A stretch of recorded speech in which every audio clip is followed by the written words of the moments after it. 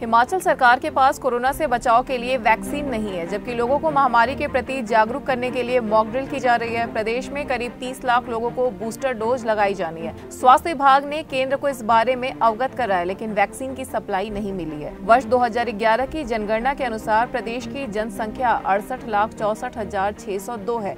इनमें से उनचास फ़ीसदी लोगों को बूस्टर डोज लगाई जानी है। प्रदेश में सक्रिय मरीजों का आंकड़ा करीब दो हज़ार पहुँच गया है। एक सप्ताह के भीतर प्रदेश में सात लोगों की मौत हो चुकी है। मामले बढ़ने के साथ लोगों की मौत होने से स्वास्थ्य विभाग की चिंता बढ़ गई है। स्वास्थ्य विभाग ने जिलों के अस्पतालों में डॉक्टरों और पैरामेडिकल स्टाफ को रोटेशन में ड्यूटी देने के लिए कहा है। वार्डो में एंटीबायोटिक, बुखार, मास्क, सैनिटाइजर आदि की व्यवस्था करने को कहा गया है। विभाग का दावा है कि जिलों में कोरोना से निपटने की पर्याप्त व्यवस्था की गई है।